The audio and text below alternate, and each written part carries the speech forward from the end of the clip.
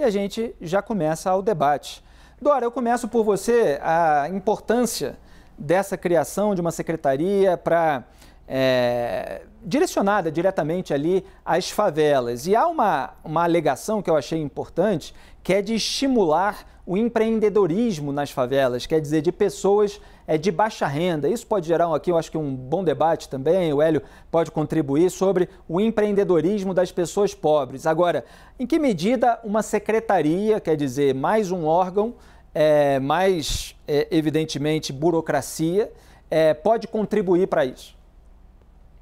Olha, eu acho que primeiro a gente tem que ver até que ponto isso não é só uma alegoria, tá? Porque tem várias, tem uma implicação enorme, porque as favelas ficam das cidades. As cidades têm uma jurisdição, seja é, dependendo da, da, do setor, do município ou do estado. Como é que ficaria isso? As favelas têm o, o problema enorme, são pelo menos aqui no Rio, tá? Não sei como é que é em São Paulo, outros lugares, mas aqui no Rio são territórios abandonados pelo, pelo estado e dominados pelo tráfico e pela milícia. Então não é uma questão simples. A, a, questão do empreendedorismo é uma questão importante, mas olha, é, é, em virtude da, da, da questão é, nesses territórios absolutamente dominados, absolutamente a, afastados do Estado, o Estado ali não tem jurisdição, o Estado não entra,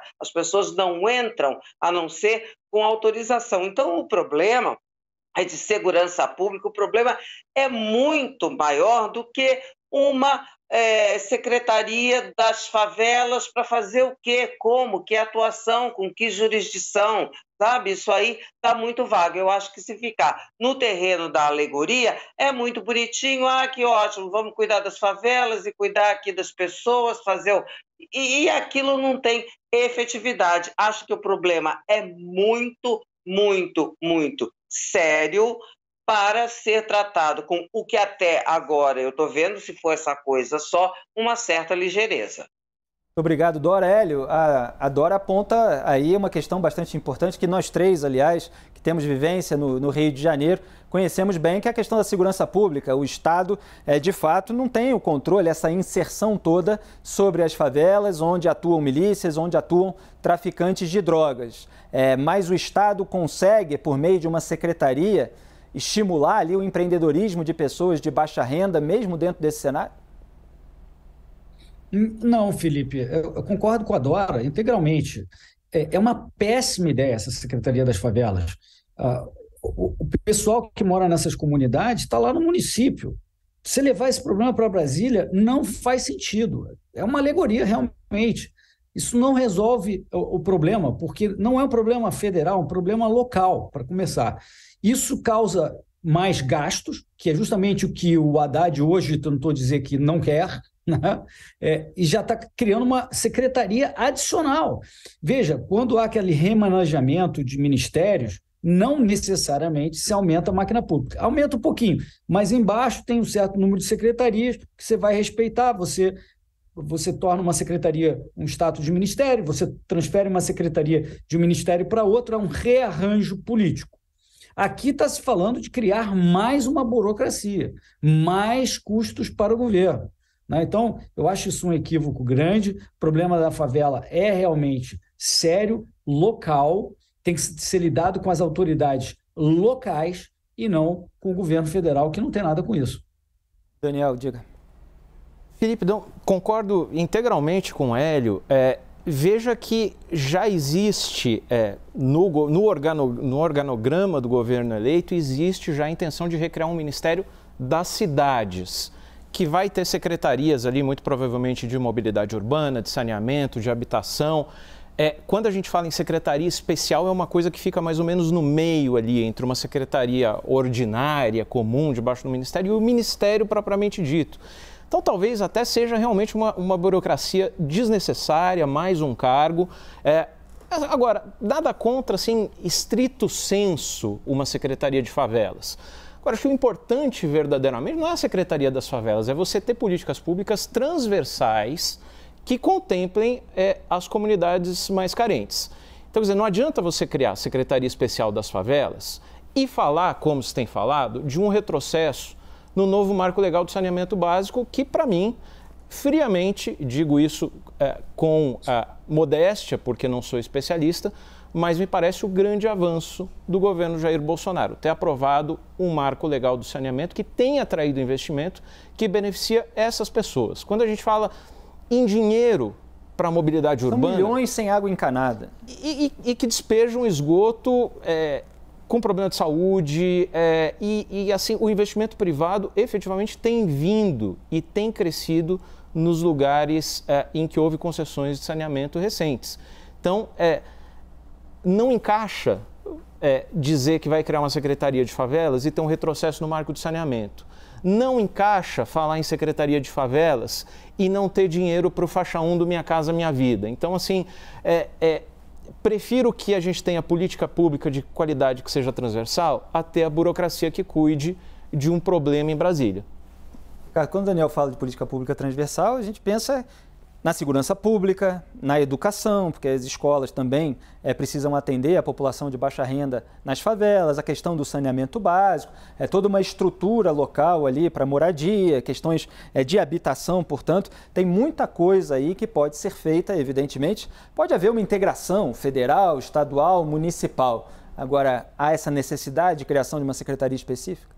Causa espécie, Felipe, é que esse ministério já existe é o Ministério de Direitos Humanos, que, aliás, professor Silvio Almeida, uma pessoa extremamente técnica, professor aqui da Universidade de Mackenzie, foi recentemente nomeado para esse cargo. Quando a gente fala em Ministério dos Direitos Humanos, é o ministério responsável pela tutela das minorias. Quem são as minorias? Não é um critério quantitativo, as mulheres são minorias. As mulheres, embora ocupem 52% da população brasileira, os dados de 2016, elas são minoria política, elas estão subrepresentadas. Nós temos várias minorias no Brasil, pessoas com deficiência, população LGBTQIA, população de favela, de comunidades, pessoas com deficiência. Já pensou se a gente tiver um ministério para cada minoria? Como é que o professor Silvio Almeida vai coordenar os direitos humanos? São políticas que podem até ser antagônicas, ou seja, é preciso separar a política esse slogan de ter um ministério próprio para determinada classe, de ter efetividade na política pública. Então, nada impede que essa atenção à população de comunidade de favela seja tocada dentro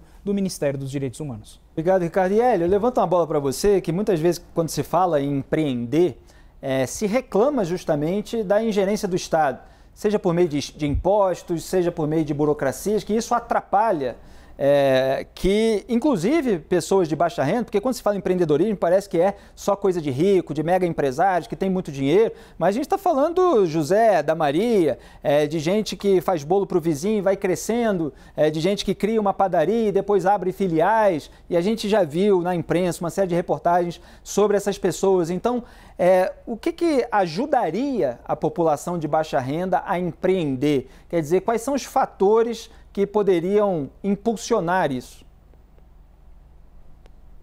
Felipe, é, o meu pai costumava dizer que o Brasil é uma ilha de iniciativa cercada de governo por todos os lados. Se você liberar e tirar o governo de algumas das áreas que o governo atrapalha os empreendedores, o Brasil floresce como nunca. Nós temos no Brasil uma alma empreendedora incrível, inacreditável. É que Infelizmente, o governo vem com burocracia, regulamentações excessivas, impostos asfixiantes. Então, o que é preciso para o empreendedor ter êxito, crescer, é menos governo. O governo tem que governar menos para o empreendedor, empreendedor empreender, empreender mais. Esse é o segredo. Queria só fazer um comentário rápido ao que o Daniel falou, muito importante, muito relevante, sobre o marco do saneamento. O governo PT está falando em revisar, remendar esse marco do saneamento, seria um grande atraso. O Brasil tem 50% das pessoas sem acesso a esgoto, como vocês falaram, joga aí em qualquer canto. Há 5 mil anos atrás, cidades ali entre o Tigre e o Eufrates tinham encanamento de esgoto para as pessoas todas lá. Nós estamos 5 mil anos atrasados, tentando agora correr para em 2033 alcançar a universalização, e o PT agora como o Daniel propriamente comentou, está querendo atrapalhar essa corrida que já começou por mais investimentos e por entregar, entregar serviços de saneamento que a população tanto precisa. Obrigado, Hélio. E Dora, só um complemento rápido, é, que me incomoda realmente essa visão de que empreender é só coisa de rico, né? Quer dizer, os pobres, as pessoas que estão é, com baixa renda nesse momento, elas também é, deveriam ter essas oportunidades é, e elas são criativas, muitas vezes elas encontram é, dificuldades do cenário é, em torno é, para que isso aconteça. como é que você avalia essa situação? O que, que poderia ser feito?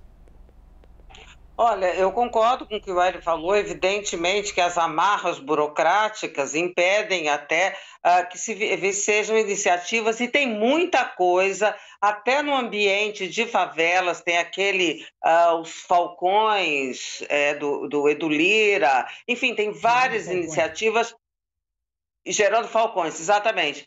É, que são espetaculares. Agora, se voltando para o assunto, uh, favela, nesse ambiente, que é o, o nosso assunto da pauta, se você não tiver garantia da liberdade de ir e vir, se não se conseguir o Estado libertar aquelas pessoas do jugo, da milícia e do tráfico, olha, não me parece que essas iniciativas possam vicejar de maneira é, é, adequada, porque o, o problema é, ali é muito maior do que isso. Ali o problema é de sobrevivência. E fora desses ambientes dominados, eu acho que o entrave é esse que apontou o Hélio, citando o Hélio Boltrão, então ministro da desburocratização, que entendia muito desse assunto, pai do Hélio e de Maria. Obrigado, Dória. Dora, perdão.